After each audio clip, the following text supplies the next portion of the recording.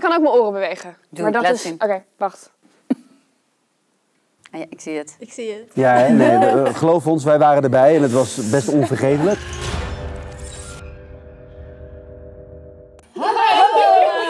Wie zijn wij? Wie zijn wij? Wij zijn de cast van de nieuwe dramaserie Anoniem. Precies. Inderdaad. En we gaan vandaag iets heel leuks doen, want we gaan een quiz spelen. Daarin eh, komen we hopelijk eh, erachter wie van deze castleden het meeste weet van de serie. En je zou denken, nou, we moeten eigenlijk alles weten, want we hebben die opnames achter de rug en nou ja, we hebben elk script gelezen, we hebben die rollen gespeeld. Maar ja, de vraag is natuurlijk nu of we ook nog met de juiste kennis tevoorschijn komen.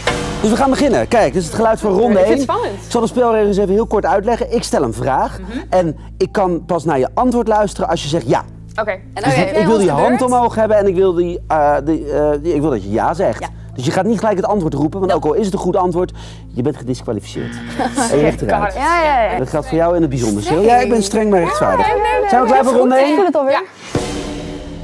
Vraag 1. Het personage dat ik speel, Jurre, die doet aan reenactment. Nou, bij reenactment worden er historische gebeurtenissen uitgebeeld of nagespeeld.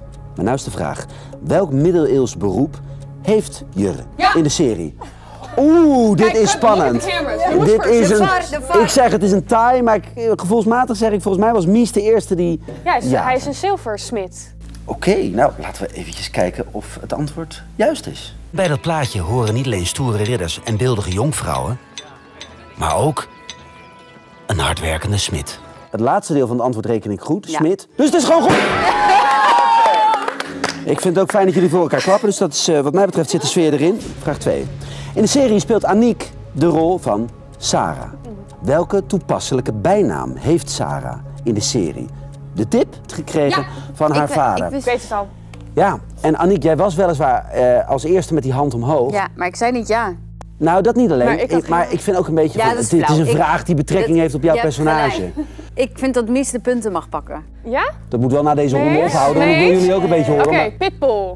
Nee! Nou, Ja, ook, volgens ja, mij ook. wel, toch? Dat was ook een bijnaam. Wat was dan die andere de volgens jou? Was Pitbull. Ja, wat denk jij, Annie? IJskoningin. Of ijskonijn. Oh, dat is ook Op waar. het, Dat mijn Eh, vader dat zegt? Oh, Nee, mijn niet. vader. Oh nee, het die ging- zei dat het niet. ging over die vader, nee. hè? Zie, ik luister slecht. Ah, ah, ah, ik luister heel We zijn er slecht. niet helemaal over uit wat het beste antwoord is. Is het ijskonijn? Is het pitbull? Is het misschien allebei? Laten we even naar een fragmentje kijken. Hij vraagt je wat, Pitbull? Ah, toch Pitbull.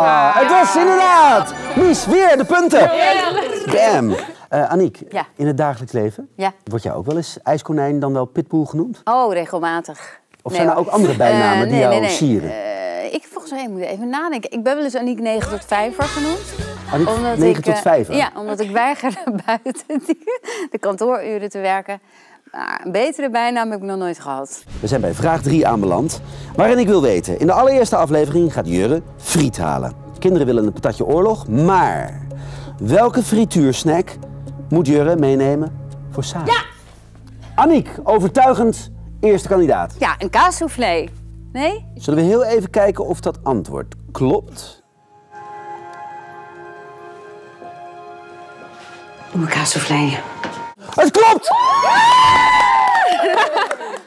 ik wist het natuurlijk al, maar ik moest een beetje spannend maken. Ik ben wel nieuwsgierig naar eh, de, de snack waarvoor we jullie s'nachts wakker mogen maken. Is er zo'n snack? Ja? Ja? Ja, geef mij maar een frikandel speciaal hoor. Dan, geven we jou een frikandel speciaal als jij dat wil. Ja, dat- Zal- kunnen we je voor wakker maken? Ja, tuurlijk. Dat, dat is echt lekker. Ja, dat is waar. Ja. Hoe, hoe is dat voor jou? En misschien minder spannend, maar koude druiven. Echt hele koude druiven. Van die, van die harde nog. Harde. Lieve mensen, vraag 4. Mia belandt op zeker moment in het ziekenhuis. Wanneer Ella op bezoek komt, heeft ze iets meegenomen voor Mia. Welk cadeau geeft Ella aan Mia in het ziekenhuis? Natuurlijk, ja. Een Nat- tekening. Ja? Ik heb een tekening voor haar gemaakt, jongens. Dat klopt helemaal. Voor mij?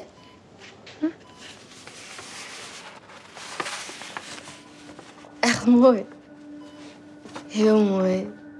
Nou, de punten zijn voor jou, Mies. Supergoed. Dankjewel. Inderdaad, een zelfgemaakte tekening. Heb jij eigenlijk zelf? Kun jij tekenen? Heb je andere onvermoede talenten? ik kan niet zo goed tekenen, maar ehm, ik haak heel veel. En ik kan ook mijn oren bewegen. Doe, maar dat is. Oké, wacht. Ah ja, ik zie het. Ik zie het. Ja, hè? Nee, we- geloof ons, wij waren erbij en het was best onvergetelijk. We zijn inmiddels toe aan vraag 5. Jongens, wat is het spannend. vind ik. Als Boet vermist is, Sil, dan wil Sarah bijna de politie bellen. Jurre die treft vervolgens Boet aan bij zijn gehuurde garagebox. En welke smoes vertellen wij dan aan Sarah wanneer we thuiskomen? Ja. Ik kijk nu jou aan, maar iedereen mag antwoord geven. Waarom Aniek weet was één, jij was nummer twee. Ja, ik, weet je wat? Ik geef jou, voordat ik hun de kans geef om antwoord te geven, een paar seconden extra bedenktijd. Ja, dat is goeie. Wij hebben dit samen gespeeld. Ja, no pressure hoor. Nee, doe Ehm, niet. Kom op, kom op, kom op. We, we hadden een, eh, een soort van alibi. We hadden een smoes bedacht. Zo van, we waren dat aan het doen. Wa- En de tip is, het is iets wat eigenlijk niet mag. Moet je gewoon niet doen. Sowieso nooit en al helemaal niet op jouw leeftijd was ik niet aan het roken? Oh ja, dat was het. Oh, dat was ik vergeten. Ja, Ik had het verkeerde antwoord gegeven, Wat, denk wat ik. voor antwoord had jij Nou, ik dacht dat jullie eh, een verjaardagscadeau aan het maken waren. Oh ja, Maar dat snap was- ik ook wel. Maar dat is soms ook een smoes in de serie. Dat is soms ook een smoes. En waar was jij? Ja, ik heb hem dus gevonden bij het speelplein. Hij was eruit gesneakt om te gaan roken. Wat? Poet! Oké, dan gaan we naar de volgende. Nou, wacht even, ik wil iets anders weten. Is er een smoes, Kio, die jij wel eens bewust inzet? Dat ik druk ben. Soms ben ik niet zo druk. Druk in je agenda bedoel je? Ja, in mijn agenda. Niet Dat druk ik geen van... tijd heb. Ah, zo. Ja, ja. En dan is het gewoon niet waar. Ja, nee, dat is niet waar. Als ze zeggen, je kan niet. Ja. Mijn agenda zit al vol. Ja, precies. En dan lig je lekker in je hangmat. Ja. Ik vind hem slim. Ja, Ik ga hem overnemen in smoes. Vraag 6. Sarah gaat als officier van justitie op een geheime locatie in gesprek met Jack, de boef. Welke dieren stonden in de stal? ja. Oh my god, wat een, wat een overweldigend aanbod. Maar ik moet wel zeggen dat Aniek net een tandje... Sil, wat is je antwoord? Varkens! Wacht even, wacht even. Varkens?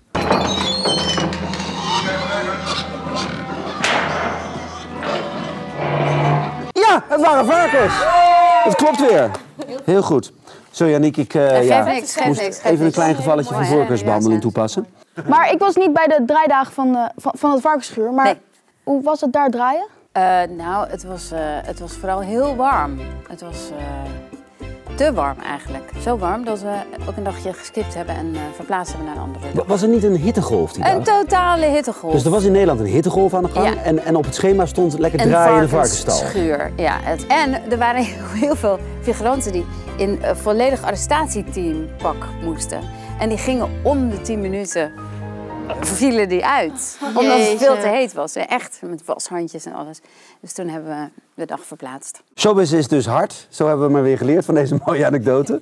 Jongens, we zijn aan het einde van de quiz eh, beland. Want Nee, het waren nu ze- al? Ja, nu al. Maar we kunnen gewoon nog een beetje doorkletsen en een leuke fun hebben. Maar gewoon even voor de statistieken is het wel aardig om te weten dat we een ja, toch wel glansrijke winnaar hebben van deze quizronde. Ja, een gepast applausje voor onze winnares Mies. Yay! En hiermee ronden wij onze anoniem quiz af. Dankjewel voor het kijken. De serie Anoniem is natuurlijk te zien. En daar kunnen we ook nog een beetje een quizvraag van maken. Want hoe zit het ook weer? Wanneer kunnen we hem zien? Vanaf 26 mei op NPO 1. Cool. En is Half die... negen. Half negen. Heel goed. En is die bijvoorbeeld ook te streamen? Ja, ja, ja. Op NPO Plus kan je alles vooruit kijken. Samengevat, de nieuwe dramaserie Anoniem is vanaf 26 mei op elke vrijdag te zien op NPO 1 van BNN en Vara. En als je eh, terug wil kijken, ga je naar NPO Start. En als je vooruit wil kijken, naar NPO Plus. Precies.